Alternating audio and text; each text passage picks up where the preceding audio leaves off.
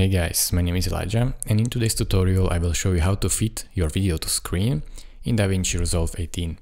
So it's very simple, let's say you scroll with your mouse as you can see, you can scroll with your mouse and that basically you can fit it like this, but this takes a long time. So let's say you are here and you are stuck and you don't know what to do.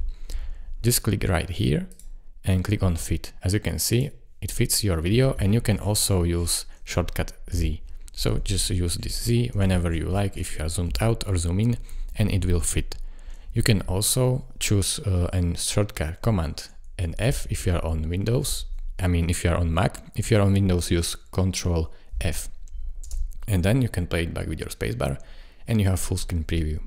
If you want to just make it smaller, again, just Command F and you're back here.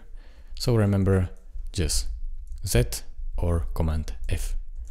It's simple as that. Thank you guys for watching. If this video was helpful to you, consider subscribing and liking this video, and I will see you in the next tutorial. Bye bye.